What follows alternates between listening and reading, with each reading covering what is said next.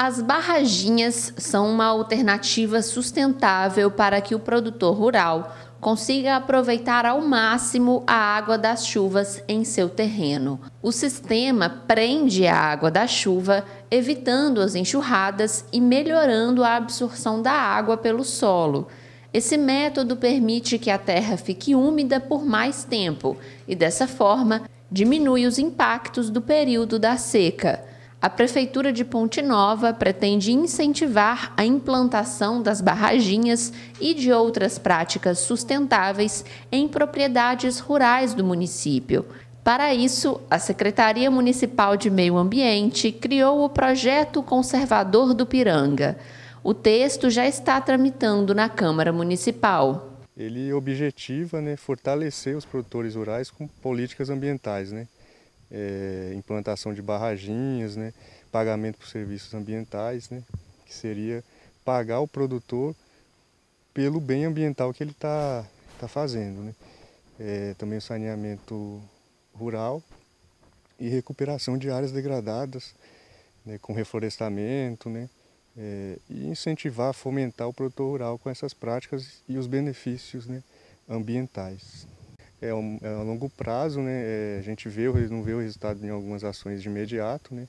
Mas é, a gente pode ver nos locais aqui, no, por exemplo, hoje nós estivemos aqui nessa propriedade, as boas práticas que eles adotam aqui, com plantação de barraginhas, é, a contenção de enxurradas, né, é, danos às estradas rurais, é, o aumento da produtividade do produtor rural, né, tanto no, no manejo dele com seu gado, como no plantio que ele faz para poder vender né, sua verdura, seu alimento. Né?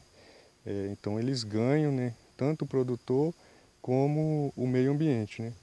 As propriedades que abraçarem o projeto serão avaliadas pelo município para saber quais são as demandas necessárias no terreno.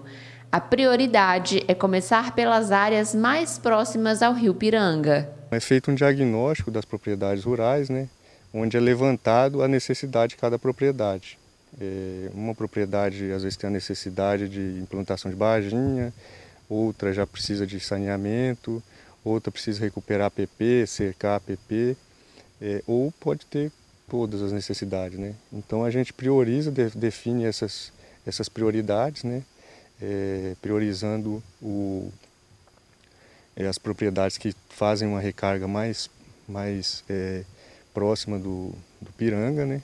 o objetivo é esse, e, e iniciar nessas propriedades. Os produtores que colocarem as medidas em prática em seus terrenos serão remunerados pelo município. É o chamado pagamentos por serviços ambientais. Né? É, neste, em janeiro deste ano já foi criada uma lei federal é, que prevê esse pagamento, né, uma tendência mundial. É, e o que, que ele é? Ele paga, remunera o produtor pelo, pela recuperação da área dele, pela manutenção que ele faz na área dele, né? por exemplo, manter as mudas que foram plantadas, né? manter a APP cercada, é, toda essa manutenção. E na, no, no, projeto de lei nós estabelecemos sem o FPN, que é algo em torno de 300 reais por hectare. Então, se o produtor ele tem 10 hectares, ele vai receber é, 10 vezes esse valor por ano, né?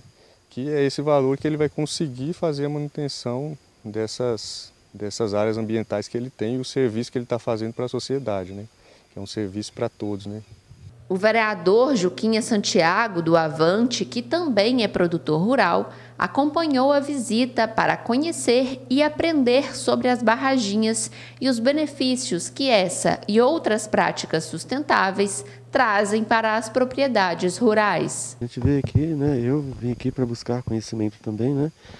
Eu já venho falado, há muito tempo eu venho falando das barraginhas, só que eu não conhecia, igual vim conhecer aqui hoje, né? Estamos conhecendo é, a respeito das estradas, curva de nível, né? Para reter água no solo, no lençol freático, né? Nós não perder essa água das chuvas, né? Isso aí é, é muito importante para o meio ambiente, né? É muito importante para o produtor rural resgatar as nascentes né, através desse processo de barraginha e de curva de nível nas propriedades. O que eu estou admirado aqui de estar tá vendo aqui é a pastagem, né? Porque na nossa época, né, era o capim meloso, né? E hoje a pastagem de braquiara. O meloso ele segurava a água no solo, o braquiária não segura, a água bate e vai embora. Então a maneira de segurar a água aí para o lençol freático, né, para as nascentes, é aumentar as nascentes é fazendo aí as curvas de nível e as barraginhas.